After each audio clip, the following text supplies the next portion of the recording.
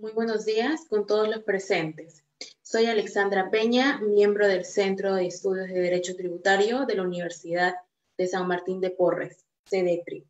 Agradecemos a cada uno de ustedes por participar en nuestro primer Congreso de Derecho Tributario, denominado Procedimientos y Procesos Tributarios, el mismo que está siendo transmitido por nuestra página oficial de Facebook, Centro de Estudio de Derecho Tributario, USMP.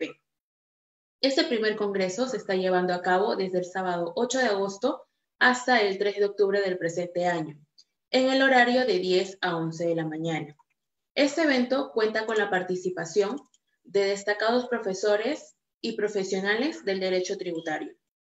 En esta oportunidad tenemos el honor de contar con la participación del doctor Martín Mantilla Hidalgo, quien es abogado de la Universidad de Lima, magíster en tributación y política fiscal por la Universidad de Lima, con especialización en tributación por la Facultad de Contabilidad de la misma Casa de Estudios. Egresado de la Maestría en Administración de Empresas por la Universidad San Ignacio de Loyola, UCIL. Ha sido funcionario de la Superintendencia Nacional de Administración Tributaria, SUNAT, por más de 14 años y consultor externo en diversas entidades públicas. Actualmente es socio del área tributaria del estudio Galvez y Dolorier Abogados, Sociedad Civil Responsabilidad Limitada, GID Abogados, con experiencia en consultoría y patrocinio en procesos tributarios, tanto en sede administrativa como ante el Poder Judicial. Planificación Fiscal y Due Diligence, docente en la Maestría en Derecho Tributario y Fiscalidad Internacional de la Universidad San Martín de Porres. Asimismo, contamos con la participación del doctor Lorjo Moreno de la Cruz, quien a lo largo de este congreso hará las veces de moderador, Además, al finalizar la ponencia, seleccionará las preguntas que ustedes consignen en los comentarios, a fin que nuestro expositor tenga la gentileza de absorberlas. Se les pide a todos los presentes realizar sus preguntas media hora después del inicio de esta ponencia. Nos es muy grato informarles que el pasado sábado 22 de agosto se publicó nuestra revista Tributo. En esta primera edición se aborda el tema de procedimientos y fiscalización tributaria. Nuestra revista la pueden encontrar en nuestras redes sociales. Pues bien, queridos amigos, dejo en uso de la palabra al doctor Lorjo Moreno a fin que nos brinde unas palabras para el inicio de esta ponencia. Por favor, doctor Lorjo.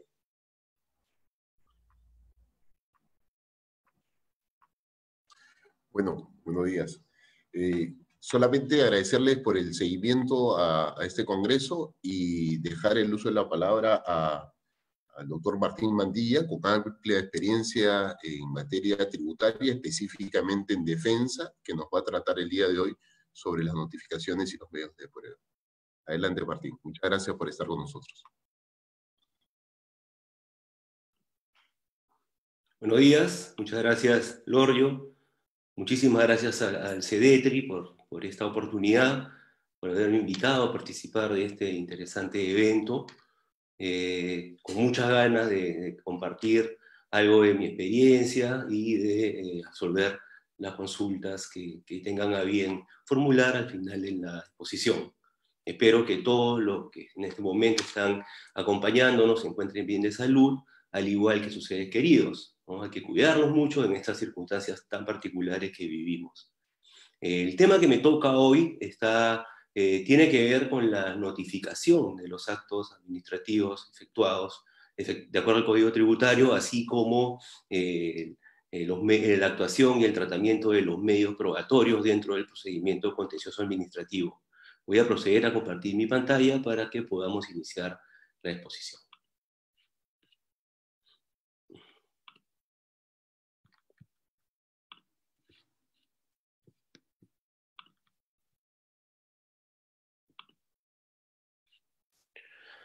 Muy bien.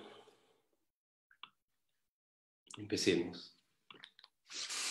El primer tema se denomina forma, efectos y validez de los actos de la notificación. ¿Qué es la notificación? Empecemos con unas nociones muy básicas y generales que nos permitirán un poco introducirnos eh, a la materia. Eh, específicamente, eh, existen muchas, muchas definiciones de lo que es notificación en el ámbito eh, común, acudiendo a la ayuda de las definiciones del diccionario de la Real Academia Española, notificar significa comunicar formalmente a su destinatario una resolución administrativa o judicial. Es una acepción que se puede aplicar a todo tipo de notificación en cualquier contexto. Procesalmente hablando, el código procesal, nuestro Código Procesal Civil, en su artículo 155, señala que el acto de la notificación tiene por objeto poner en conocimiento de los interesados el contenido de las resoluciones judiciales. Ya tenemos dos elementos eh, en común en ambas definiciones, la comunicación y la puesta en conocimiento. Acercándonos ya un poco más a, lo, procesal tributario, eh, tenemos la definición de Carlos María Folco que señala que la notificación es un acto de la administración tributaria que consiste en llevar a conocimiento del contribuyente o responsable un acta de constatación, un requerimiento o bien una resolución administrativa mediante la utilización de la forma legalmente establecida. Aquí entramos ya a un elemento adicional que tiene que ver con la formalidad. La formalidad es muy importante eh, para fines de la notificación de los actos de la administración en materia tributaria, como lo veremos en las siguientes diapositivas. Por ejemplo, teniendo en cuenta esta interesante definición que plantea la Defensoría del Contribuyente de Usuario Danero, el inicio de la eficacia de un acto administrativo está supeditado que éste haya sido notificado con arreglo a ley, ya que esto tiene que ver con el respeto al debido procedimiento, al debido proceso consagrado constitucionalmente, que a su vez que se extrae de la definición que tienen a la vista, tiene respaldo de reiterada jurisprudencia del Tribunal Constitucional y tiene su base en el derecho de defensa del contribuyente. El Tribunal Fiscal, a su vez, señala que los actos administrativos son comunicados a los interesados por medio de la notificación, que constituye una técnica solemne y formalizada, dado que constituye una actuación mediante sujetos encargados que atestiguan la entrega de la copia escrita de un acto. La notificación, por tanto, permite poner en conocimiento del administrado el contenido de los actos administrativos que afectan sus derechos, obligaciones o intereses, dotándoles de eficacia. La eficacia, pues, nace con la notificación debidamente efectuada. En buena cuenta, un notificador autorizado por la Administración Tributaria puede comunicar, debe comunicar a un contribuyente el contenido de un documento a través de la entrega del mismo. Este hecho genera un vínculo entre el contribuyente y la administración, que se articula a través de este acto de notificación. Ello permite que el acto cobre eficacia, porque el acto emitido ya es válido como tal, pero si no es notificado no cobra eficacia. Asimismo genera predictibilidad en el administrado porque ya sabe cuál es la decisión de la administración y conoce lo que debe o no hacer. Finalmente, le permite a éste ejercer su derecho de contradicción. Resumiendo esto, la notificación otorga eficacia al acto. Ello supone la posibilidad que dicho acto produzca efectos jurídicos en la realidad. El contenido del mismo se exterioriza y causa efectos en el administrado. Por ejemplo, una resolución de cierre local, alguna vez notificada, surte efectos. Y este efecto se ve eh, materializado en el inicio del cómputo de un plazo para impugnarlo. Y si no lo hace, al vencimiento del plazo o en la fecha prevista en el acto, se ejecuta el cierre del establecimiento.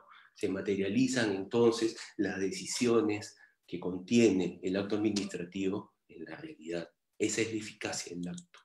Asimismo, ¿por qué otorga predictibilidad? Porque permite al administrado conocer y realizar las acciones a fin de ejecutar o cumplir los mandatos contenidos en los actos notificados. Y la predictibilidad también va del lado de eh, de la administración como garantía, porque a uno le permite saber qué viene, cómo va a actuar la administración respecto de él.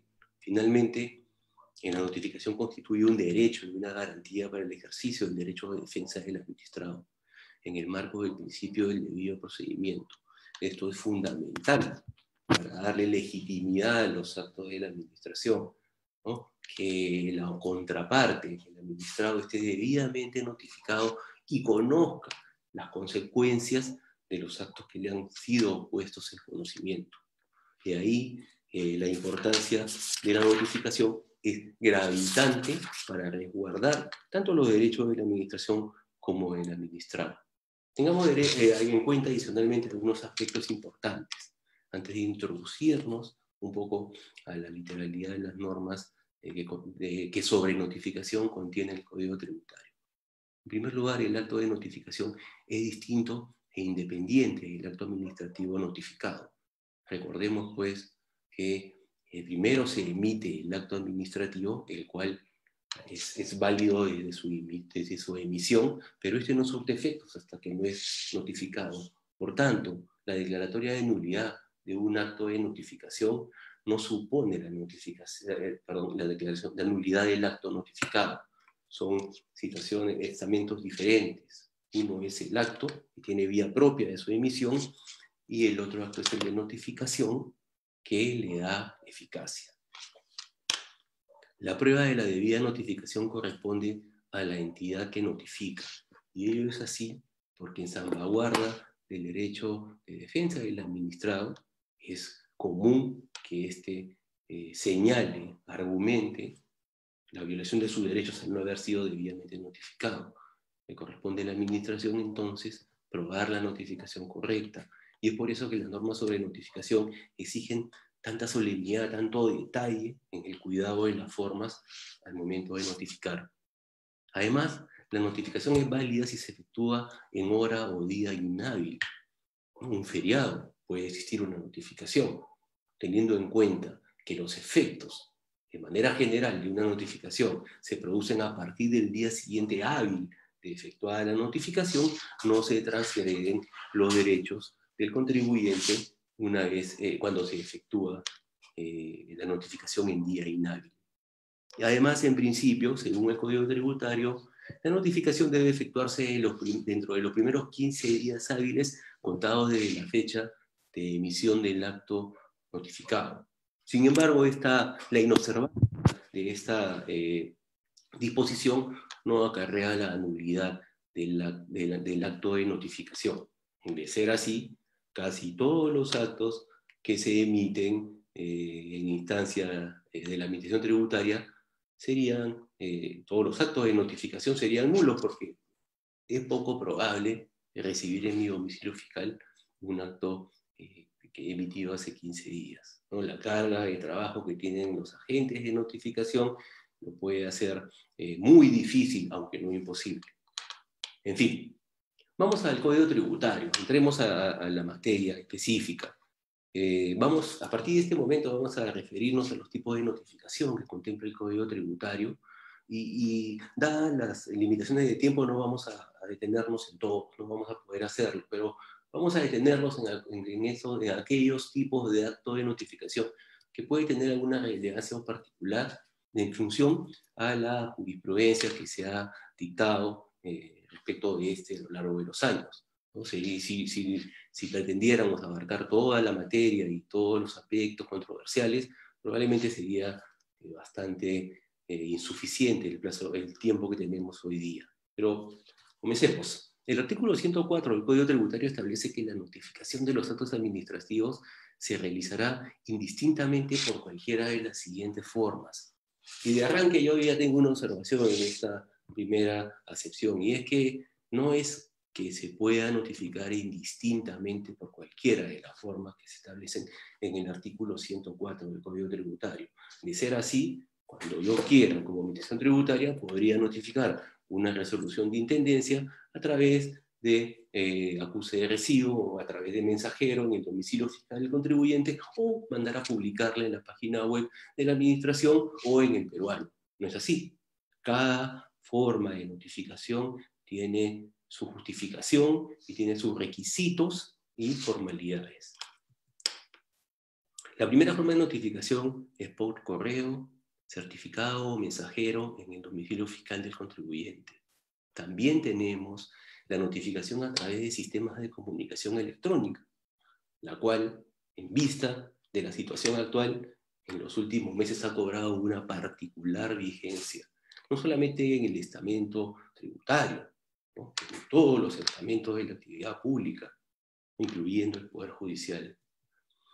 Además, se puede notificar vía constancia administrativa en las instalaciones de la Administración cuando el contribuyente se apersona a ella por cualquier razón.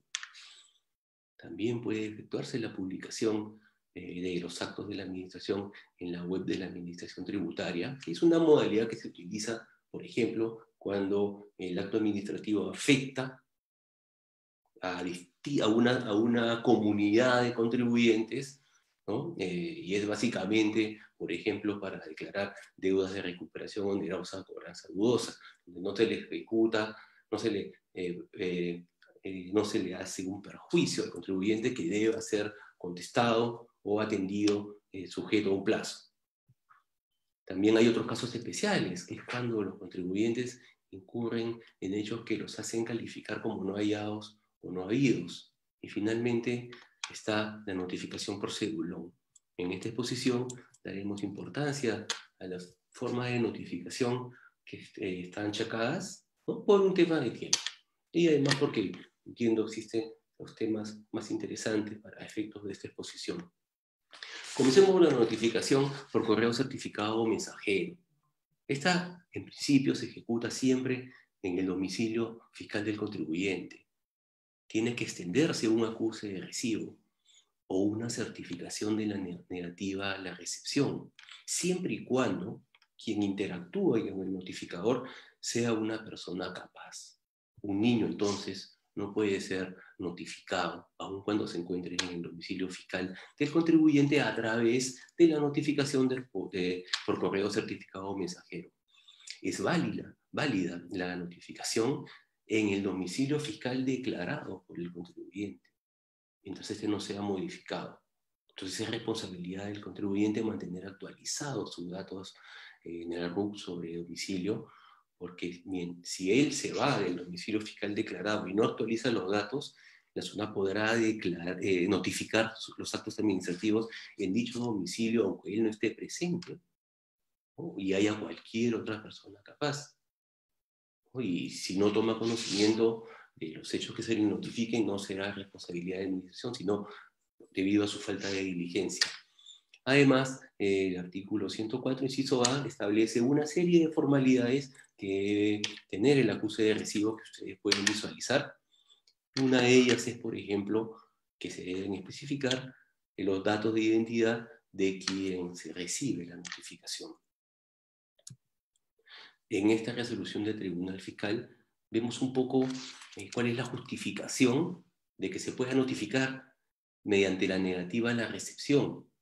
Y el Tribunal Fiscal señala que la certificación de la negativa a la recepción como modalidad de notificación produce la presunción de conocimiento del acto administrativo por el destinatario de la notificación, con la finalidad de impedir que éste realice actos de obstrucción al momento de recibir sus comunicaciones que impidan la actuación de la administración sin duda busca eh, conceder una, ventaja a la administración que le permita pasar por alto todas aquellas medidas que el contribuyente notificado podía llevar a cabo a fin de no recibir el acto.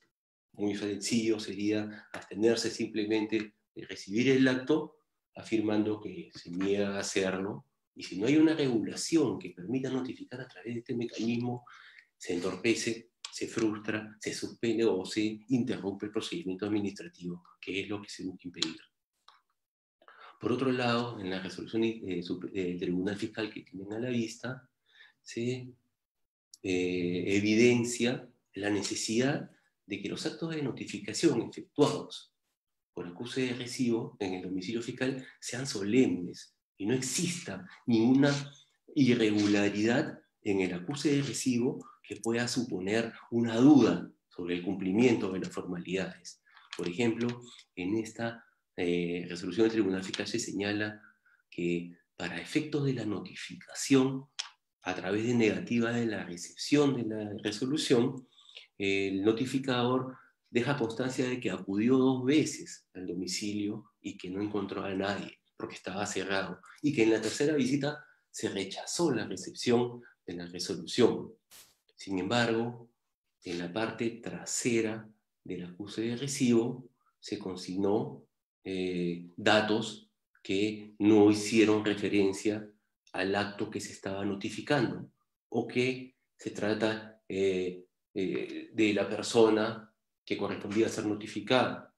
En ese caso, al haberse consignado información, no en el formato propio del acuse de recibo, sino en la parte trasera, se duda de la ejecución de la adecuada notificación del acto, por tanto, se declara fundada la queja en este caso particular. Vamos ahora a la notificación por sistema de comunicación electrónica. Mecanismo, modalidad que este, está en moda hoy por hoy, es absolutamente indispensable contar con ella para poder notificar los actos administrativos por la situación que todos conocemos. Y lo más importante de este acto es que es necesario que exista un mecanismo que permita confirmar la entrega la notificación al destinatario. De otra forma, se vulnerarían flagrantemente los derechos del administrado. Además, de acuerdo al sistema de notificaciones, a la regulación que el Código Tributario establece sobre ellas, se indica que esta notificación se considerará efectuada el día hábil siguiente a la fecha del depósito del mensaje de datos o documentos. Y al leer esta definición me acuerdo mucho de lo que se ha regulado sobre la materia en el Poder Judicial. Hoy por hoy el Poder Judicial ya notifica, como todos saben, a través del SINOE, el sistema de notificaciones, electrónicas, y tiene regulada expresamente eh, una norma donde establece que se considera comienzan a computarse los plazos a partir del segundo día hábil de la notificación. Es parecido a lo que dice el Código Tributario. Fíjense, la notificación se considerará efectuada el día hábil siguiente a la fecha del depósito del mensaje o documento. No dice que, se surtirá efecto. No dice que cobrará eficacia el acto, dice que se considerará efectuada la notificación el día hábil siguiente a la fecha del depósito. La regla es que la notificación se considere efectuada el día de la entrega. Acá corre un plazo más. Y quiero que tengan en cuenta esta, esta idea porque más adelante vamos a ver un problema. Por su parte, siguiendo la línea eh, de estas notificaciones electrónicas y de que el Código Tributario establece que tanto el Tribunal Fiscal como la SUNAT deben realizar las acciones pertinentes y reglamentarias para regular la notificación electrónica, el Tribunal Fiscal, a, través de la resolución de presidencia 04-2020 EF, ha actualizado la regulación sobre el sistema de notificación electrónica. Eh, ahora todos saben que para, para, presentar un recurso de apelación, una queja o cualquier acto eh, eh, al, Tribunal Fiscal que deba resolver que sea competencia del Tribunal Fiscal, es necesario suscribirse al sistema de notificaciones electrónicas de, ese, de, ese, de esa entidad. Entonces ya va caminando en esa dirección el Tribunal Fiscal. Por su parte, la SUNAT también desde el 2008 ya tiene regulación sobre la notificación por medios electrónicos a través del buzón de la clave de sol. En ese caso sí existen algunas excepciones, eh, tratándose de requerimientos o resoluciones colectivas que surgen efecto al momento de su recepción, en las cuales no deberían, no deben, no, no se notifican a través de este sistema. Recuerden que al comienzo hablábamos sobre la importancia de, de acreditarse en la recepción de la notificación. Fíjense eh, lo que sostiene este párrafo, evidentemente, una notificación que no permita confirmar la notificación del acto administrativo que se presenta a notificar, como es el caso del correo electrónico, constituye una vulneración al derecho que se produzca una notificación que permita conocer efectivamente con el contenido de los actos administrativos, vulnerándose de este modo el derecho al debido procedimiento administrativo.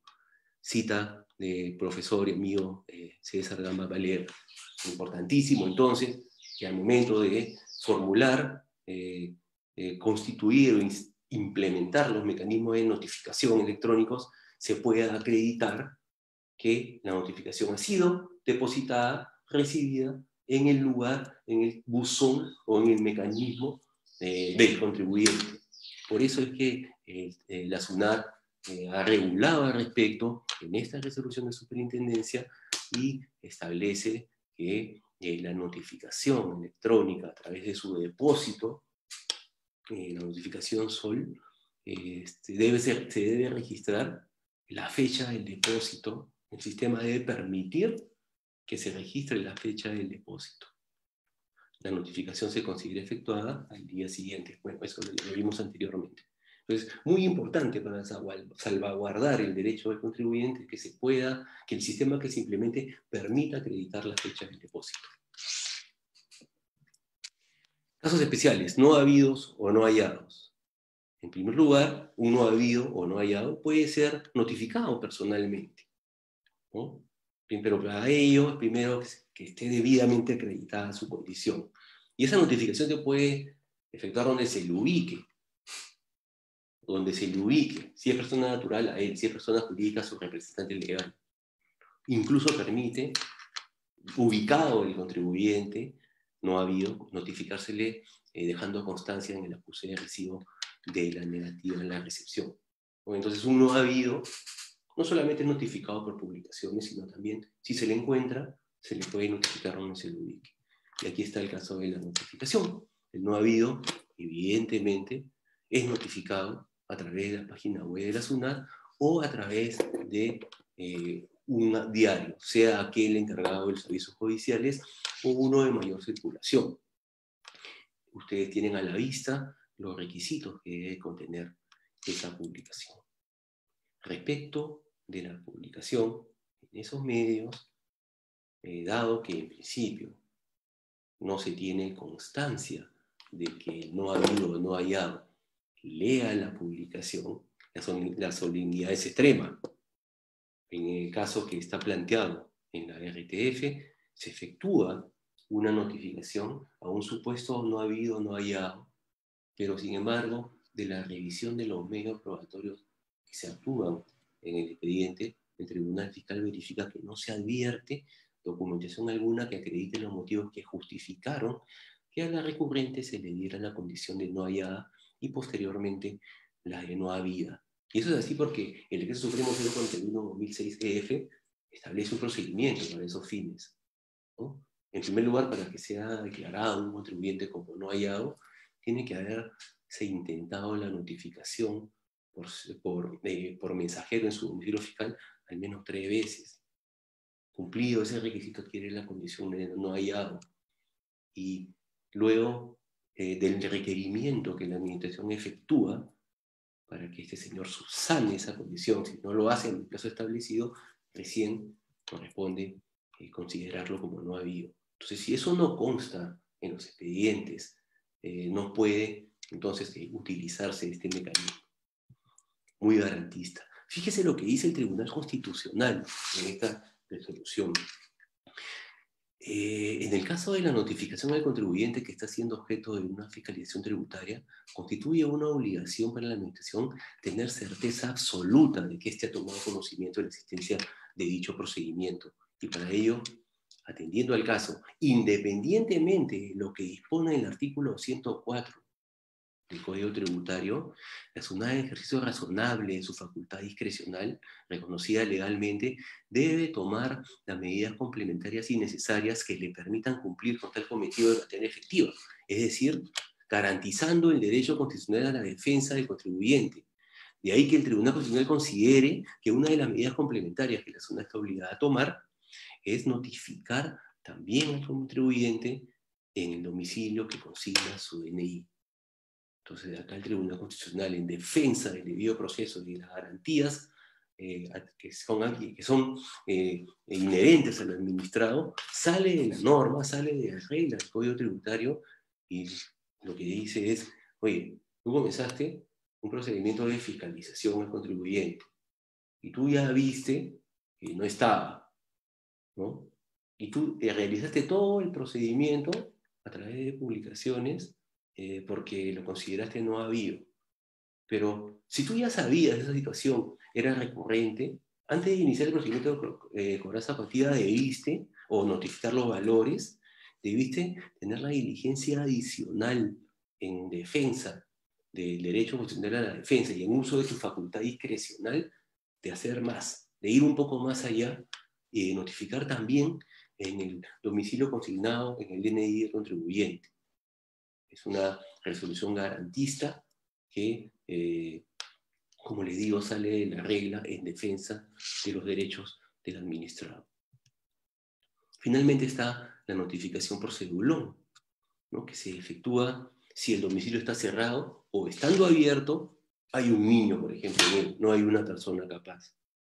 El fedulón se fija en la puerta del domicilio fiscal con pegamento, es una notificación donde se indica que los documentos notificados se están dejando en sobre cerrado bajo la puerta del domicilio. El documento, el acuse de recibo que, eh, que, acredita este tipo de notificación debe especificar que ha sido utilizado el mecanismo de, del cedulón a efectos de llevar a, la notificación del acto administrativo. En este caso en particular, eh, en el Tribunal Fiscal otra vez, en defensa de la solemnidad de los actos de notificación, declara fundada una queja, porque señala que si bien se encontró el domicilio fiscal cerrado, la constancia de notificación por cedulón no consignó el número del documento notificado ni que éste haya sido dejado en un sobre debajo de la puerta. Requisitos que, como hemos visto en la diapositiva anterior, son formales pero necesarios para la validez, la validez del acto. Si no consta ello, el acto es inválido. Efectos de la notificación. ¿Cuál es la regla general? El acto administrativo surte efecto el día siguiente de su notificación. Por ende, al día siguiente, cuando surte efecto, se inicia el cómputo de los plazos. Y la regla excepcional es que los actos eh, notificados surten efecto al momento de su recepción, de su recepción pero está este tipo de eh, notificación y los efectos de la misma está reservada para determinados actos, por ejemplo, las resoluciones de embargo o medidas cautelares previas, los requerimientos de exhibición de libros, registros y documentos, y las acciones de fiscalización de efecto inmediato. Por ejemplo, un punto fijo, un arqueo de caja, un inventario, una inspección que debe realizar el funcionario de la administración en ese momento para garantizar la verdad material de los hechos. Entonces, la regla general nos quedamos en esa idea, los actos surgen efecto al día siguiente, salvo las excepciones que ustedes tienen a la vista. Recuerdo mucho que en ejercicio de esta prerrogativa, eh, años atrás, cuando los contribuyentes solicitaban, solicitudes, solicitaban la devolución de tributos, en el día que la administración efectuaba la programación del acto, el auditor acudía eh, con la notificación del requerimiento en la mano eh, cualquier día y ese mismo momento lo notificaba y exigía que se exhibieran todos los libros y documentos que se señalan al requerimiento en ese momento que estaban utilizando, haciendo uso de esta prerrogativa. Evidentemente, es poco probable que sin un aviso previo el contribuyente tenga a la mano toda la información en su domicilio fiscal necesaria para atender la solicitud de devolución cuando no sabe cuándo va a llegar el auditor. Si bien el código establece esa posibilidad, ya el Tribunal Fiscal, felizmente, en muchos casos, ha tenido eh, cuidado de señalar que tiene que otorgarse un plazo mínimo al contribuyente para tener la información disponible, si no está cometiéndose un abuso. Y ese plazo puede ser dos o tres días, de acuerdo a lo que establece el Código Tributario, pero no es sano, no es razonable y no es eh, adecuado que la administración efectúe la notificación el mismo día hasta que va a hacer la revisión de los documentos sustentatorios de la solicitud de devolución del contribuyente no hace lo mismo cuando va a ejercer su facultad de fiscalización, eh, que no tiene que ver con un derecho del contribuyente a solicitar una suma de dinero. Fíjese, es que un problema que yo he detectado eh, tiene que ver con la notificación electrónica y que fluye del propio texto del Código Tributario y de otras normas, como verán. ¿Cuál es la regla general en cuanto efecto, al efecto de las notificaciones? El artículo 106 dice, las notificaciones surgen efectos desde el día hábil siguiente al de su recepción, entrega o depósito según sea el caso. Eso ya lo hemos visto en diapositivas anteriores. Hay una regla especial para las notificaciones electrónicas en el inciso B del artículo 104, y es que tratándose de correo electrónico u otro medio aprobado por su el tribunal que permita la transmisión o puesta a disposición de un mensaje de datos o documentos, la notificación se considerará efectuada al día hábil siguiente a la fecha del depósito del mensaje de datos o documentos. Y eso ya lo advertimos hace poco. La notificación se considera efectuada el día hábil siguiente a la fecha del depósito del mensaje. Y si se considera efectuada el día, al día hábil siguiente, es lógico que en aplicación del artículo 106 debería, ser, debería surtir sus, sus efectos al día hábil subsiguiente de la fecha del depósito. ¿Correcto? ¿No? Asemejándose un poco al procedimiento que el Poder Judicial ya tiene regularizado. Sin embargo, al momento de reglamentar esta forma de notificación, tanto eh, la SUNAT como el Tribunal Fiscal han señalado que la notificación se considera efectuada y surte efectos al día hábil siguiente a la fecha del depósito del documento, lo cual es distinto a lo que indica el inciso C, el inciso B del artículo 104. Está yendo más allá de lo que dice el Código Tributario. Porque en el caso de estas resoluciones reglamentarias, eh, los efectos de la notificación electrónica se computan al día siguiente, lo cual no está señalado en la regla especial contenida en el Código Tributario. ¿Qué importancia puede tener un día? Un día puede ser importantísimo en el, en el transcurso de los plazos. Un día puede significar la diferencia entre presentar una reclamación sin pago previo de resoluciones de determinación o encontrarse obligado a efectuar el pago o a financiar la deuda a efectos de que ésta sea admitida a trámite. Las consecuencias patrimoniales pueden ser muy importantes. ¿no? Ese es un tema que creo yo, desde mi punto de vista, genera eh, confusión y eventualmente eh, podría ser corregido a fin de alinear la redacción de los documentos relacionados a la notificación. Entonces, pues, creo yo que hay una diferencia entre lo que dice la regla especial y las normas reglamentarias que se han eh, generado eh, tanto en el Tribunal Fiscal como en la SUNA. Vamos a ver qué es la notificación defectuosa y la notificación tácita.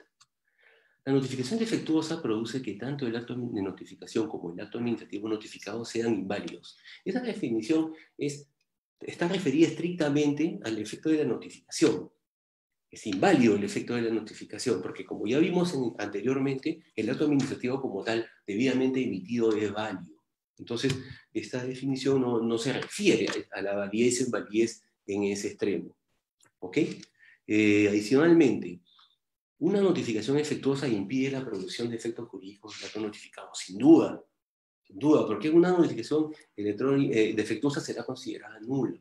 Entonces no surtirá el efecto, ni el acto de notificación, ni el acto notificado, no, generará eh, eficacia.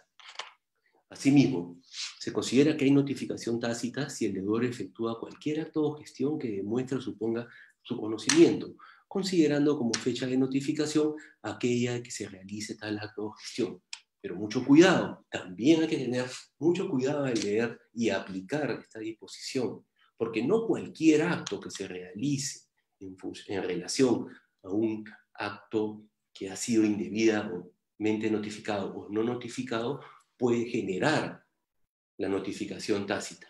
Veamos los siguientes ejemplos. Por ejemplo, si se presenta un recurso de reclamación respecto de una resolución de multa que no ha sido notificada, se entiende efectuada la notificación tácita en la fecha de presentación del recurso. Si se presenta un recurso de reclamación contra una resolución de multa, tengo que tener conocimiento de cuál es la multa y las razones por las cuales se ha impuesto. Eso evidencia, ¿por qué? Porque las reclamaciones tienen que ser motivadas. Uno no, se puede, no, no puede decir, oye, arreglamos la multa y dejarlo ahí. Hay que motivarlo. Y esa motivación supone el conocimiento del contenido. En ese caso, pues, el Tribunal Fiscal advierte con claridad que se, se entiende debidamente eh, generada la notificación tácita. No obstante, la realización de actos destinados a tomar conocimiento del contenido de las resoluciones no puede considerarse para tener al deudor, tributario como, como notificado en forma tácita. Hay un error de redacción ahí, es en forma tácita, es lo que quiere decirse. Y esto es correcto, porque puede que yo conozca, me entere a través de terceros o de alguna publicación, por ejemplo, el número de una resolución de determinación, y solicite a la administración que me la notifique o que me la entregue en copia. Esa solicitud no puede suponerse una notificación tácita, no puede surtir efecto de notificación tácita, porque el momento que solicito que me informen sobre ese acto, no tengo conocimiento de su contenido, solamente del número. Y si se pretendiera considerar que he sido notificado tácitamente solamente por haber invocado que me den copia de un acto cuyo contenido no conozco, se estaría vulnerando mi derecho. Entonces, hay notificación tácita cuando los actos que realiza el deudor evidencian que conoce el contenido, el alcance del acto administrativo eh, eh, de, que, de, que, se trata. Tengamos cuidado en eso. Vamos a poner un ejemplo, casi para terminar el tema de las notificaciones, eh, muy gráfico que, que, que, encuentra. Ah, normalmente uno cita al Tribunal Fiscal sus resoluciones para evidenciar, demostrar o explicar cómo se deben interpretar las normas tributarias, cómo se deben aplicar. Pero hay casos también en que lamentablemente en las resoluciones del Tribunal Fiscal nos dicen cómo no hacer las cosas. Este es un acto de ellos. Fíjense, en este caso, el contribuyente eh, en, el año, en el año 2004, específicamente en el mes de febrero, inició un proceso concursal ordinario. En ese momento, el contribuyente tenía deuda tributaria impugnada, por lo tanto, tenía que considerarse como deuda contingente. A la fecha de aprobación del plan de reestructuración, por lo tanto, eh, esa deuda no podría incorporarse en los cronogramas de pago de la empresa en reestructuración, sino que tenía que mantenerse como contingente, de modo que una vez que se resolvieran los recursos contenciosos relacionados a, estos, a estas deudas y quedaran firmes, entonces la Administración Tributaria como acreedor tendría que solicitarte, solicitar a la Junta que incorpore, ya no como contingente, sino como exigible, esa deuda a los cronogramas de pago eh, del plan de reestructuración. De esa forma, se, evidencia ahí una coincidencia, una, que cómo hilvanan correctamente las normas concursales y las tributarias, porque al incorporarse la deuda que inicialmente era contingente en los cronogramas como deuda exigible, entonces en cada oportunidad que se efectúa un pago mensual del cronograma, se interrumpe la prescripción ¿no? por pago voluntario. No es toda la deuda, pero es una partecita relacionada a aquella deuda y entonces se interrumpe la prescripción hasta que termine de pagarse las cuotas. Nunca prescribe esa deuda, está resguardado el derecho del acreedor. Sin embargo, en este caso, eh, meses después de que se aprobó el plan de reestructuración, eh, la administración notificó los actos que resolvían las controversias de la deuda contingente y estos actos quedaron firmes. ¿Ok? En ese momento entonces correspondía a la administración solicitar a la Junta que reconociera esa deuda y la incorporara en los cronogramas para que fuera pagándose. Pero eso no sucedió. Y 11 años después, el contribuyente solicitó la prescripción de la acción para cobrar dicha deuda porque no habiéndola incorporado, no se efectuó ni un pago respecto de ella y en consecuencia, después de 11 años había prescrito. En mayo de 2015 la Administración declaró infundada la solicitud de prescripción. No sé si ustedes han visto, a veces la Administración emite unas resoluciones que son formatos preimpresos donde simplemente declara infundada como un anexo sin hacer ningún detalle técnico. Bueno, ese fue el caso se declaró infundada la solicitud y el contribuyente apeló. ¿Advertía la administración de su error? Uy, se nos ha pasado 11 años y esto no lo hemos comunicado a la Junta. Eh, hizo la comunicación al INDECOPI para que se, en ese momento, para que se reconocieran esos pagos dentro de los cronogramas, y el INDECOPI rechazó esa solicitud. No, dijo que no. ¿Sabes por qué? Porque esas notificaciones están mal formuladas y son nulas porque no se ha precisado en el acuse de recibo cuál fue la persona con quien se entendió la referida diligencia, ni nombre ni DNI de la persona que recibió las notificaciones, a pesar de que el acuse de recibo tenía el sello de recepción de la compañía. ¿Ok? Entonces, para Indecopi, esas resoluciones no habían sido debidamente notificadas y en consecuencia no se podrían incorporar esas deudas porque todavía no habían quedado firmes. La SUNAT y eso es increíble. En el mismo mes, la SUNAT toma esa definición, esa conclusión de Indecopi y vuelve a notificar los actos administrativos que resolvieron las controversias, los cuales fueron notificados inicialmente en septiembre de 2004. Once años después, la SUNAT hábilmente, según ellos, efectúa la nueva notificación y el contribuyente inmediatamente interpone una apelación de esas nuevas eh, resoluciones, que en realidad no eran nuevas, no son las mismas del 2004, pero cuestiona únicamente el segundo acto de notificación, diciendo que eso no puede ser, ya, estaba, ya habían sido notificados. Tanto así que incluso en febrero del 2015 se había presentado una solicitud de, prescripción. Yo ya conocía esos, de esos actos administrativos. ¿Cómo me dices ahora que no habían sido notificados? El Tribunal Fiscal en el mes de diciembre declara nulo el concesorio de, la, de esa apelación y remite a la SUNAT eh, los, expedientes para que se pronuncie sobre la fecha de la notificación. Tribunal Fiscal se la da las manos y dice, oye, ¿sabes qué? Acá no hay temas de fondo que analizar. Tú estás diciendo que estas notificaciones han sido notificadas antes. Que diga la SUNAT, pues. La SUNAT recibe la notificación y en abril del 2016, 16, mediante esquelas, declara nulas las segundas notificaciones y válidas las primeras. Recordemos que las segundas notificaciones fueron efectuadas porque Indecopi dijo que estaban mal las primeras. Asombrosamente, en agosto de 2018, el Tribunal Fiscal resolvió la apelación contra la solicitud de negatoria de prescripción y declaró válidas las segundas notificaciones. Fíjense. Declaró válidas las segundas notificaciones. Y yo me pregunto, como primera observación acá, ¿acaso no hubo notificación tácita en febrero de 2015 cuando se solicitó la prescripción de la acción para cobrar la deuda, donde yo justifiqué las razones por las cuales consideraba que al no haberse eh, impugnado las resoluciones que resolvieron los contenciosos de septiembre de 2004 y habiendo quedado firme, transcurrió el plazo. Otra observación que me llama mucho la atención acá, ¿es posible que tan fácilmente la administración tome como vinculante o válido un pronunciamiento de una entidad de un acto que es dictado fuera del procedimiento contencioso tributario. Y acá me, un poco, me parece incluso un poco gracioso ver cómo cuando le conviene, con tanta facilidad la administración toma como suyo una decisión que no se emite dentro del procedimiento y cuando no le conviene se esfuerza en desconocer el, el carácter vinculante de, los, de las resoluciones judiciales que emite la Corte Suprema y que emite el Tribunal Constitucional. Algo ahí no están dando bien. Por último, me pregunto, ¿puede la administración beneficiarse por su propio error y ganar 11 años? ¿Que impune su falta de accionar? Un caso muy interesante que ustedes pueden leer en esa resolución del Tribunal Fiscal. Miren lo que dice eh, la Corte Suprema en esta casación sobre el error eh, de la administración tributaria. La administración tributaria no puede beneficiarse a sí misma por, su propio error en la notificación de inicio de la fiscalización hacia la parte demandante y así mantener en suspenso el plazo prescriptorio por más de cuatro años. No, es lógico. Me parece que es perfectamente aplicable al caso que les he narrado.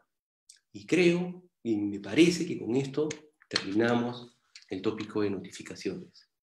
Estamos un poco avanzado de hora, voy a correr un poco en este tema de los medios de prueba para que podamos revisarlo eh, a satisfacción de todos. Son definiciones, en este caso, eh, una de Morón Urbina, eh, según la cual la actuación de medios probatorios consiste en el conjunto de actos realizados para trasladar hacia el expediente los distintos elementos de convicción producidos por los medios probatorios sobre los hechos investigados, y el Código Procesal Civil señala que, salvo disposición legal diferente, la carga de probar corresponde a quien afirma los hechos que configuran su pretensión. Y acá hay una, en la definición de Morón, un aspecto muy importante que es la actuación, cuando se considera que un medio probatorio ha sido actuado. Un medio probatorio es actuado cuando es incorporado en la decisión. La decisión se ve influida por el contenido de ese medio. ¿Cómo se valoran los medios probatorios? Como les dije, la actuación supone incorporar en el análisis de fondo el contenido del medio probatorio. Esos medios probatorios tienen que ser valorados en forma conjunta y razonada, No se puede tomar una decisión sobre la base de un solo medio probatorio cuando el expediente contiene cuatro o cinco. Tiene que analizarse en su conjunto, de forma razonada y, de manera que pueda obtenerse una resolución fundada en derecho. Esa es como la, forma como se deben valorar los medios probatorios. En el, en el Código Tributario del artículo 125 tenemos como medios probatorios aceptados los documentos, que son los escritos, eh, que sirven para acreditar hechos eh, de distinta naturaleza invocados como pretensión del contribuyente. Estos documentos no solamente están constituidos por el papel, también podemos incorporar dentro de ellos las grabaciones de audio o video que, eh, que se pueden incorporar como un medio de prueba en el procedimiento. Eh, eh, no solamente el papel, entonces, es eh, lo que se conoce como documentos en el procedimiento tributario. También están las pericias, que son aquellos dictámenes que contienen opiniones técnicas especializadas sobre determinado aspecto, que puede ser científico, tecnológico, industrial, artesanal. Me vienen a la mente, por ejemplo, las pericias que puede presentar un contribuyente cuando la administración le cuestiona los, las mermas, las mermas en su proceso productivo, cuando la administración considera insuficiente el sustento, entonces el contribuyente puede recurrir a un dictamen de un especialista que refuerce su posición. También me viene a la mente el caso de una empresa farmacéutica que fue fiscalizada por la SUNAT en el año 2009. Y la Administración Tributaria le cuestionó las notas, eh, las notas de crédito que emitió en muchos casos a sus clientes, a sus proveedores, perdón. Entonces, eh, eh, la empresa farmacéutica justificaba la emisión de notas de créditos en descuentos, en descuentos que había tenido que realizar al renegociar los contratos debido a la terrible crisis que enfrentó el, que enfrentó el sector en el año 2009 como consecuencia de la crisis mundial. Para esos efectos se contrató una, a una compañía especializada que efectuara un análisis económico coyuntural y sustentaran las razones por qué en el año 2009 fue necesario renegociar los contratos y para no perder los negocios tuvieron que efectuarse descuentos que se materializaron en notas de, crédito emitidas por el contribuyente. Un caso, otro caso de pericia. Y finalmente están las inspecciones, que son las que pueden ser ordenadas por los órganos encargados de resolver, ya sea la SUNAT o el Tribunal Fiscal, que eh, puede incluir la participación de terceros para corroborar en la práctica, en los hechos, un, un hecho, un evento, una situación que es necesario dilucidar para la resolución de esta controversia. Como les dije, los medios probatorios, si hubieran todos estos en un solo expediente, tendrían que ser analizados en forma conjunta. Adicionalmente, el artículo 125 del Código Tributario eh, establece la obligación de la Administración de considerarlos en su análisis conjuntamente con las manifestaciones, a fin de llegar a la verdad material. Esto no le da a las manifestaciones el carácter de prueba. Ojo, no se, no se confundan. Es simplemente eh, un elemento adicional que es obligatorio tener en cuenta al momento de analizar integralmente a las pruebas, a los medios probatorios autorizados por el Código Tributario. Y entonces el valor de las notificaciones es relativo. No, no pueden por sí mismas ser eh, acreditadoras o pruebas suficientes de nada. El Tribunal Fiscal lo deja claro en esta resolución. La sola manifestación del emisor de la factura reparada no basta para conocer la realidad de las operaciones. Más aún cuando el recurrente ha presentado una serie de documentos a efectos de demostrar la fehaciencia de la adquisición que efectuó según este caso está relacionado sin duda a un reparo por operaciones no reales, donde la zona fundamenta el reparo en que, oye, tu proveedor dice que nunca te vendió. No es suficiente, una sola manifestación es insuficiente, más aún cuando el sujeto fiscalizado está ofreciendo documentación que le permite acreditar que sí se llevó a cabo la operación. ¿Ok? Vamos a los plazos de ofrecimiento de los medios de prueba. Dentro del procedimiento contencioso tributario, el plazo regular eh, tiene las siguientes normas. En principio, se pueden presentar pruebas al momento de presentar los recursos, ya sea de reclamación o apelación. Eh, efectuada la presentación de estos recursos, el Código Tributario establece un plazo probatorio de hasta 30 días. dentro del cual el contribuyente puede ofrecer otros medios probatorios a fin de fortalecer, robustecer su posición. Este plazo, sin embargo, tiene variantes. En el caso de fiscalizaciones, de valores que han sido reclamados o apelados y cuyo origen tiene que ver una fiscalización de precios de transferencia, el plazo probatorio es de 45 días. O si tienen que ver la acotación con el resultado de, eh, de, una, de la aplicación de una sanción de cierre, comicio, encerramiento eh, temporal de vehículos u otras de ese tipo, el plazo probatorio se reduce solo a 5 días. La regla es que se pueden ofrecer medios probatorios distintos a los, a los ofrecidos en la fiscalización, siempre que no hayan sido solicitados en forma expresa durante la fiscalización o que se pueda acreditar que no pudieron ser ofrecidos en dicho procedimiento.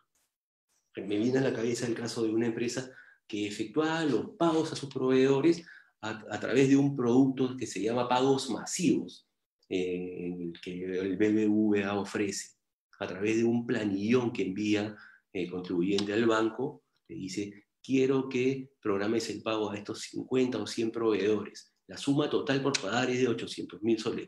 Toma la transferencia. Lo que tiene el contribuyente es la transferencia efectuada al banco, pero no tiene los documentos que acreditan las transferencias que el banco efectúa por orden del contribuyente a cada uno de los proveedores. Y en ese caso, esa solicitud de información toma mucho tiempo, lo hemos visto en la práctica. ¿Cómo puedo acreditar yo, cómo puedo presentar yo esa prueba eh, eh, si no la presenté en la fiscalización? En la fiscalización puedo haber iniciado el trámite y puedo demostrar a través de una carta dirigida al banco que no pude, no, físicamente me vi impedido que en el plazo de fiscalización tuviera la información al mano. Esa información justificada de, ese modo podría incorporarse eh, dentro de los 30 días como una prueba adicional. Y la excepción es que se pueden presentar medios probatorios que sí fueron solicitados en forma expresa en la fiscalización o en la etapa de reclamación, siempre que se cumplan los requisitos que establecen los artículos 141 y 148 del Código Tributario, que en unos minutos vamos a revisar. Fíjese eh, la importancia del plazo probatorio, porque es importante el respeto del plazo probatorio de 30 días que establece el Código Tributario. Porque antes de ese plazo, la Administración no puede resolver por el fondo un recurso. Aunque tenga la respuesta de la sola lectura del recurso de reclamación, no puede resolverlo porque es una garantía del contribuyente, aun cuando no hay plazo en el propio expediente de reclamación no presente ninguna prueba, tiene 30 días para incorporar pruebas a su procedimiento y esos 30 días deben ser respetados por el contribuyente bajo sanción de nulidad.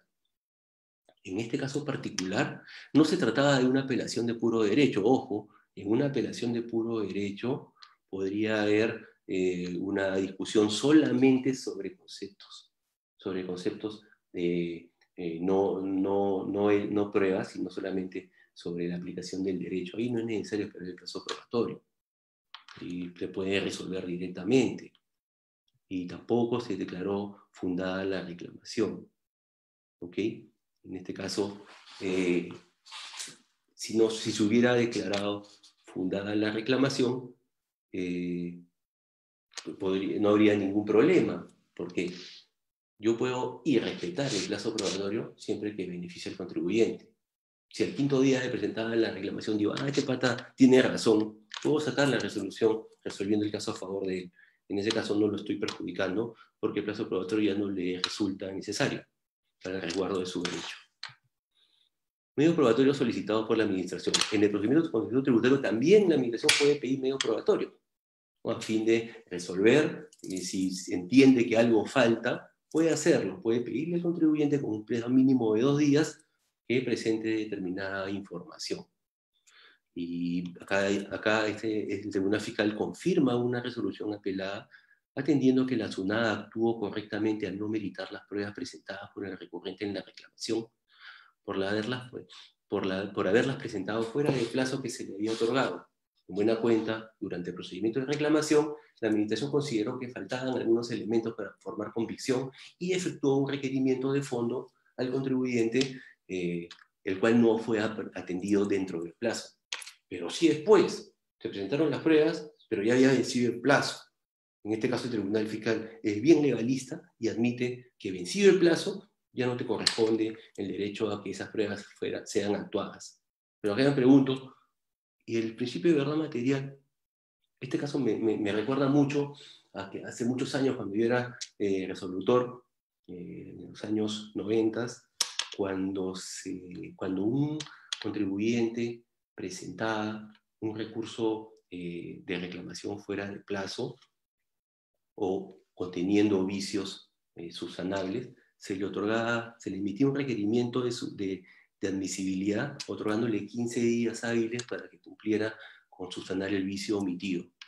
En ocasiones, el contribuyente se, demoraba más de 15 días en eh, en, efectuar el sustento correspondiente. Pero en la medida que la fecha en que presenta el sustento no se había emitido la resolución que resolvía la reclamación declarándolo inadmisible, entonces, en principio, del derecho eh, del contribuyente y de los principios del derecho administrativo que tienen que ver con la búsqueda de la verdad material, simplicidad, celeridad, igual serán admitidos, no se declaraba inadmisible la eh, reclamación y se resolvía por el fondo.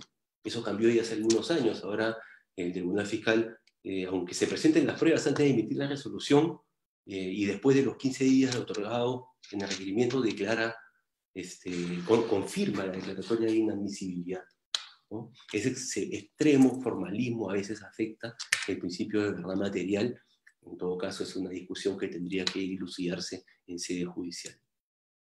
Y aquí están los requisitos eh, para presentar pruebas extemporáneas, de acuerdo al artículo 41 para reclamaciones y artículo 148 para apelaciones. Como les decía, solo son admisibles en estas instancias si estos eh, medios probatorios no fueron solicitados en forma expresa en la fiscalización o en la instancia de reclamación. Pero sí podrán admitirse, en primer lugar, si se prueba que la omisión no se produjo por causa del contribuyente, o se paga la deuda relacionada a las pruebas adicionales que se están ofreciendo o se otorga una carta fianza por el importe correspondiente. Esta exigencia de acreditar el pago o afianzar la deuda ya no se aplica el día de hoy cuando los valores reclamados no contienen deudas. Y eso no, no genera ninguna, ninguna situación, porque evidentemente, si no hay una deuda, estoy, si estoy eh, reclamando eh, reparos, eh, contenidos en resoluciones de determinación que solamente han movido mis saldos y no han generado una deuda por pagar, entonces no hay forma, no tiene sentido pedir al contribuyente que efectúe un pago para que sean admitidas dichas pruebas. Ya el decreto legislativo 1421 del 2018 permite que en casos que los valores no contengan deudas, entonces se puedan admitir pruebas extemporáneas sin ninguna limitación. En caso suceda una circunstancia en donde para acreditar, eh, para que se admita a trámite una prueba extemporánea presentada en reclamos, yo necesito afianzar eh, a través de una carta fianza eh, la, la admisibilidad de estas pruebas.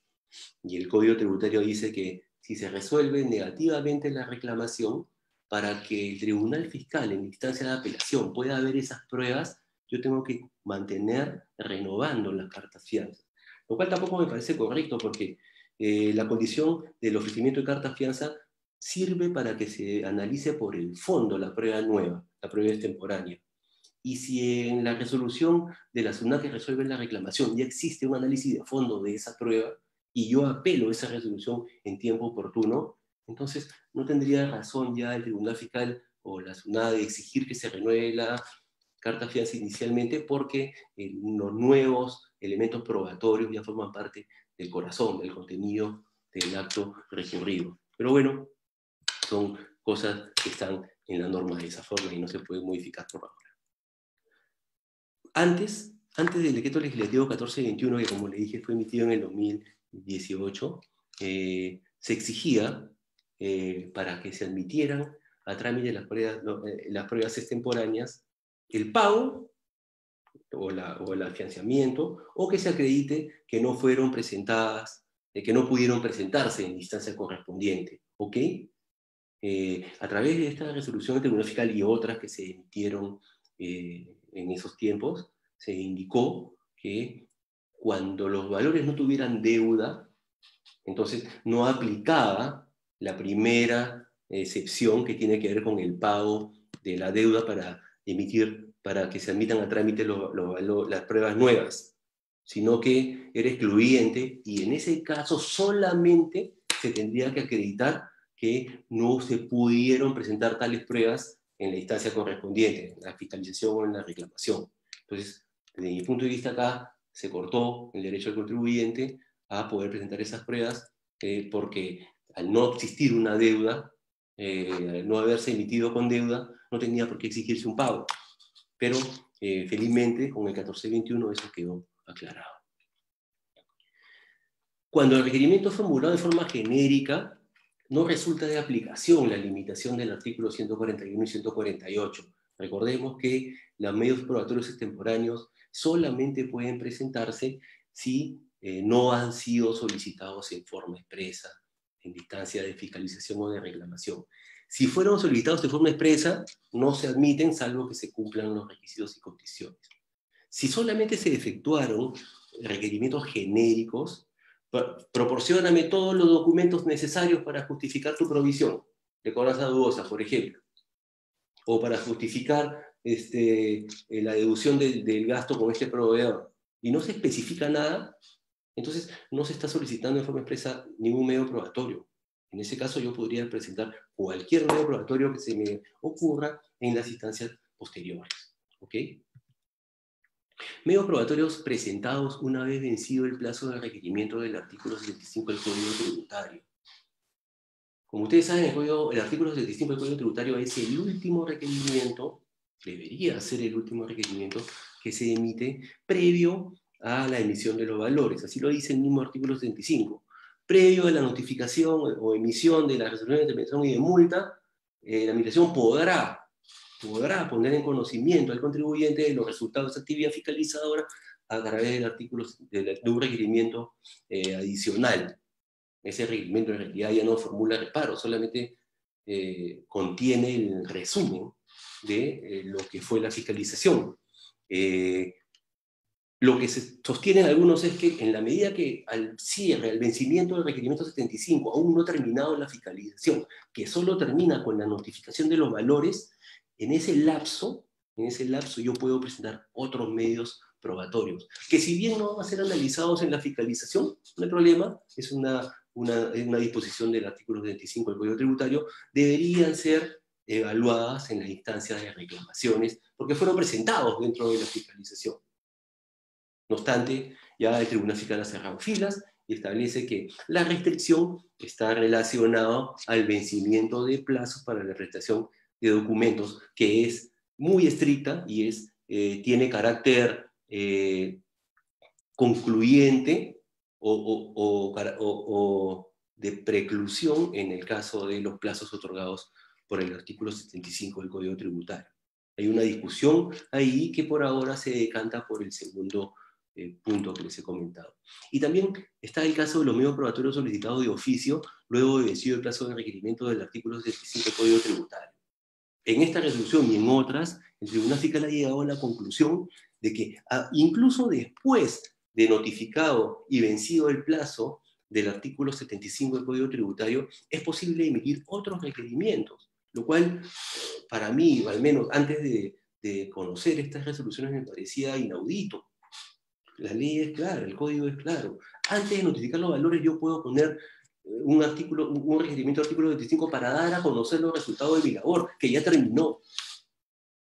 Sin embargo, el Tribunal Fiscal ha admitido ahora la posibilidad de emitir nuevos requerimientos con posterioridad, con posterioridad al cierre del requerimiento 75, lo cual a mí me parece una vulneración de los derechos del contribuyente.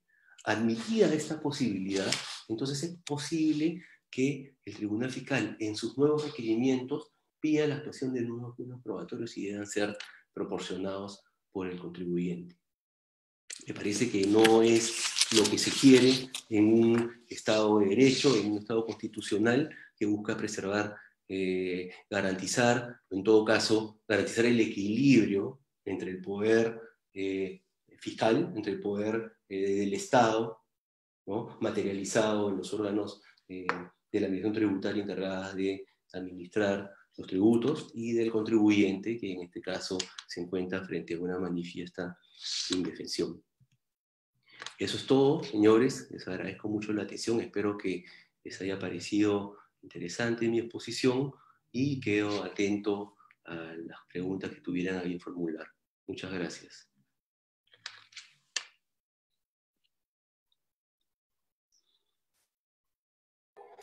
Muchas gracias, Martín. Muchas gracias, Martín, por la, exposición. Este, tenemos algunas preguntas eh, y sobre, lo, sobre lo que tú has este, disertado ahora con nosotros. La primera está vinculada a un tema que tú has expuesto y que finalmente este, sí ha causado, eh, digamos, alguna preocupación por los, este, por los que nos han atendido dentro del Congreso, que es este, precisamente esa eh, posible discordancia que existe entre el Código Tributario y lo que vendría a ser la resolución de superintendencia 014-2008, que es el tratamiento vinculado a la notificación de notificación electrónica. y, básicamente la pregunta era eh, si es que no debemos interpretar esa resolución de superintendencia alineados, digamos, a, a lo señalado por el Código Tributario, más allá de ver una discordancia, porque la resolución de superintendencia lo que habla es de acto de notificación, no del acto administrativo. Entonces, lo que entendería, digamos, la, la persona que nos ha escrito es que se está refiriendo al acto de notificación que surte efectos al día siguiente del depósito. Y el acto de notificación es un, digamos, un acto procesal independiente distinto al acto notificado. Con lo cual, si damos esa lectura a esta resolución de superintendencia, tendríamos que estaría alineándose a la posición de código. Porque si el acto de notificación se transcurre el día siguiente, el efecto del acto administrativo sería al día siguiente de producido el acto de notificación. Entonces, este, no sé si compartes esa lectura o, había un caso en concreto que finalmente podía haber se le había dado una situación distinta, porque como tú dices, es, es preocupante porque se quita un día y es un día del reclamo y es un día del periodo probatorio y, discutir una inadmisibilidad es prácticamente perder un cliente. Así es, sí, sí, entiendo. Mira, la verdad, es todos los que, que trabajamos en, el derecho eh, sabemos que con frecuencia encontramos normas que tienen distintas formas de ser interpretadas. Eh, usualmente en nuestra experiencia, eh, la administración tributaria tiende a ser más restrictiva en cuanto a la interpretación de las normas y el contribuyente más abierto porque evidentemente busca lo que más le conviene. Sin embargo, eh, entiendo el punto, me parece muy interesante, efectivamente indica la citada notificación se considera efectuada y surte efectos, ¿no? pero como notificación, ¿no? como acto de notificación. Pero la técnica que usa el código tributario este, no, no, no relaciona los efectos al acto de notificación, sino a la eficacia de los actos administrativos, de, las resoluciones que se notifican. Me parece que esa situación es la que podría generar una eventual discusión en un caso concreto, que espero que no se presente, ¿no? En todo caso, este, es, válida la observación del consultante, está abierta la cancha para que los jugadores puedan eh, seguir discutiendo al respecto. Gracias por la pregunta. Eh, otra pregunta está vinculada a lo que nos dice exactamente, la administración tributaria notifica de forma electrónica un día domingo, inhábil, surte efectos eh, al día siguiente, es decir, el lunes o martes. O sea, ya se pone en ese plan, eh, que podía ser cualquier de las dos interpretaciones. Si fuese lunes, el administrado estaría en desventaja, ya que el domingo no tendría conocimiento eh, de la notificación por ser inhábil. Ok.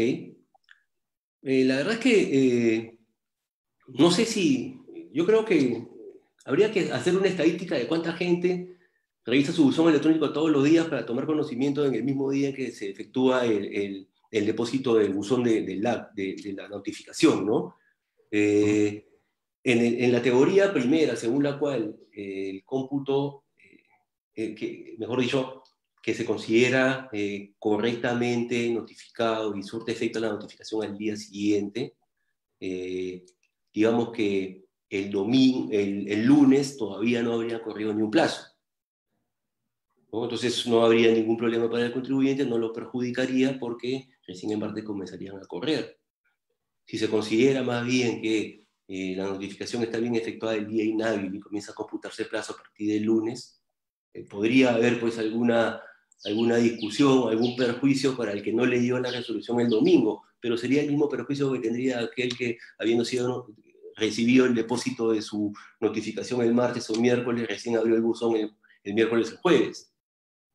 No sé si me dejo entender. No, eh, no, lo, no, lo, no, veo una, una contravención al hecho de recibir o efectuar notificaciones en día inhábil o domingo. Eh, digamos, un poco, un poco, a través de la segunda pregunta.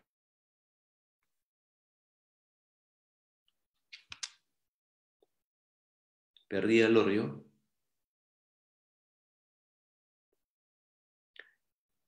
hay una falla. Ahora sí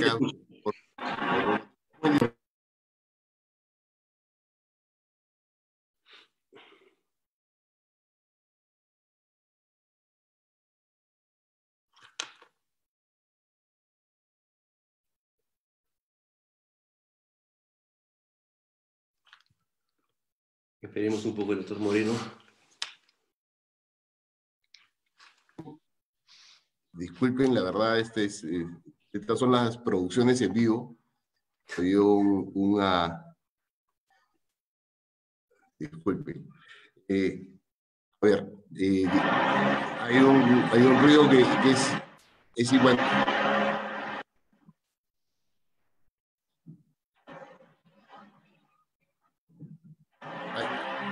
Disculpen, creo que están escuchando el ruido que es, es inmanejable por, por un vecino no, no, no puedo controlar eso. Este, bueno, eh, la segunda pregunta o las, las siguientes preguntas eran eh, vinculadas ya con los medios probatorios. Eh, en cuanto a los medios probatorios, hay, una, hay un tema relacionado a lo que vendría a ser las pruebas de oficio. En cuanto a las pruebas de oficio, lo que, digamos, dentro de lo que vendría a ser la, la experiencia que, que también este, surgen en los procesos es que no tiene, digamos, los, eh, los límites preclusorios que tiene un medio probatorio normal, porque finalmente eh, podría, podría realizarse en cualquier momento, ya dado que las preclusiones están pensadas para los contribuyentes. Entonces, eh, y, sobre, y sobre eso, este, y considera, la pregunta es, ¿considera que efectivamente esa es una aproximación correcta? Es decir, las pruebas de oficio que estarían destinadas a, digamos, eh, cuyo espíritu es encontrar la verdad material, deberían, uno, deberían promoverse, y dos, este, tendrían los límites probatorios este, que este, se establece para las, las preclusiones que se establecen para las pruebas, digamos, que, que a cargo del contribuyente. Eh, yo creo que, cualquier medio probatorio que se actúe en el procedimiento contributivo tributario eh, tiende a lograr la, verdad material. Y en ese escenario, eh, me parece que efectivamente la administración no, no, tiene las limitaciones que los contribuyentes tienen para, para, ordenar pruebas de oficio.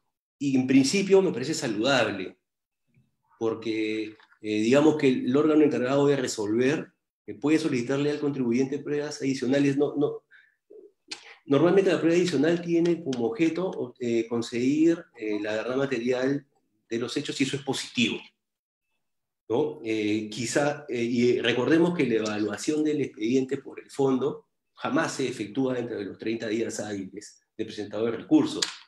Entonces, si se limita la administración a ese mismo plazo, probablemente haya situaciones en las que ella misma se viera imposibilitada de solicitar una prueba que que, que, le facilite la vida al contribuyente o que le, o le, o que le, o que le, no al contrario, lo, lo, beneficie.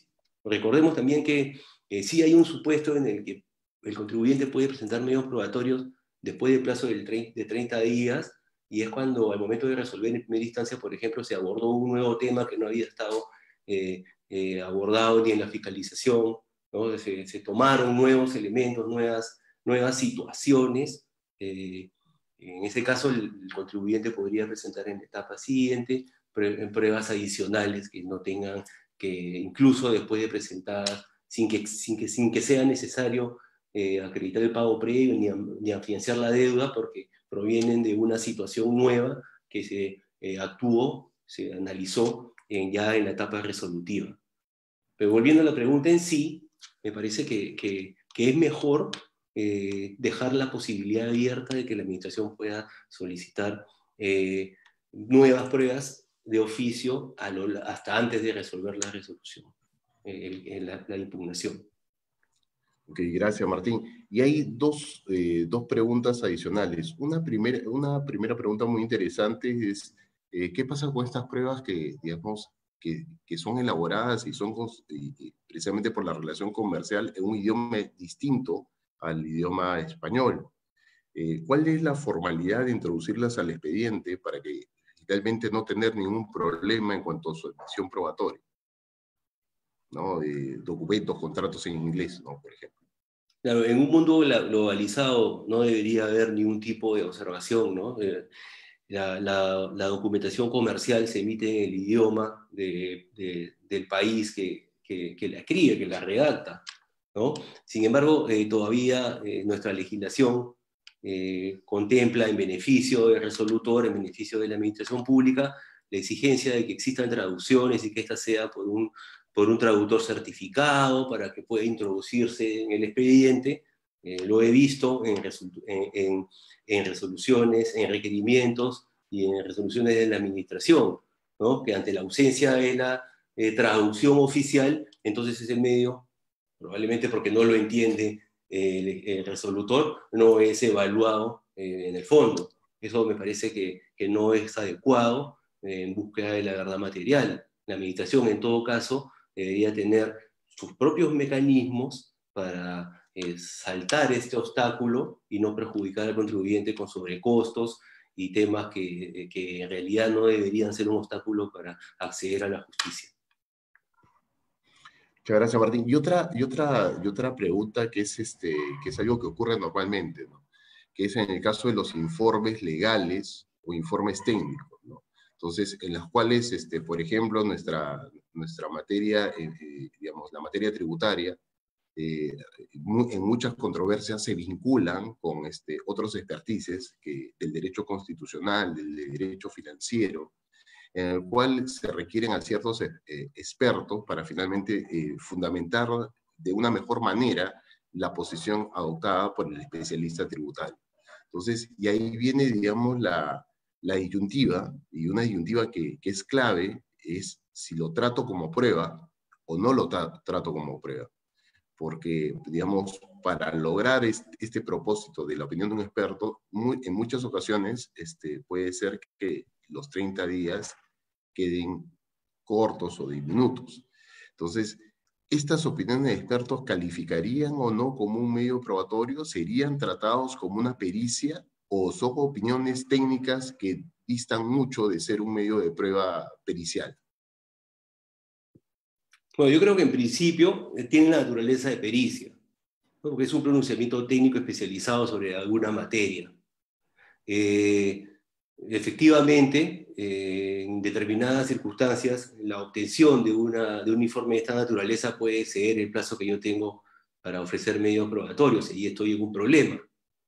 Cuando tendría que pagar para que se o, o afianzar para que se admita esa prueba y sea analizada por el fondo.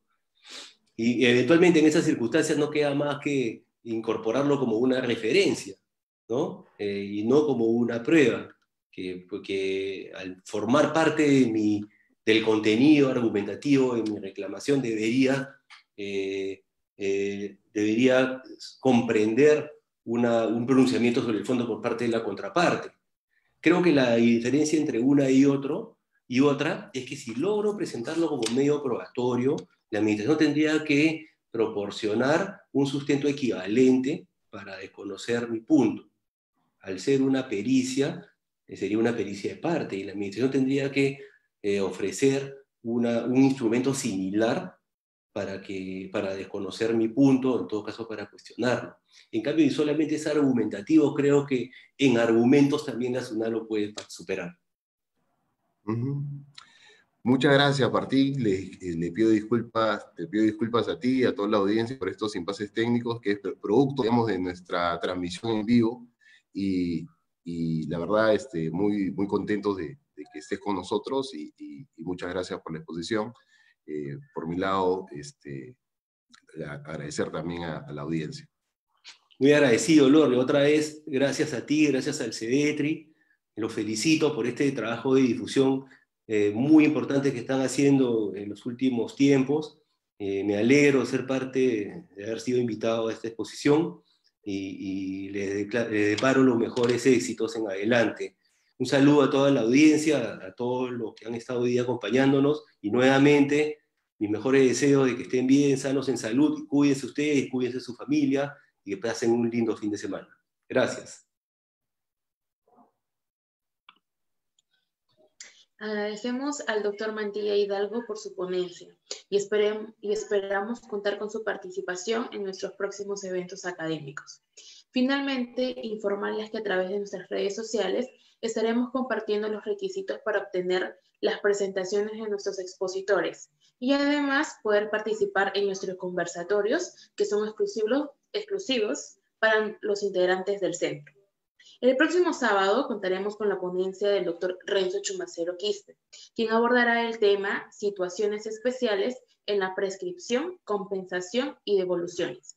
Muchas gracias por su participación en nuestro primer congreso. Los esperamos el próximo sábado. Que tengan un excelente día.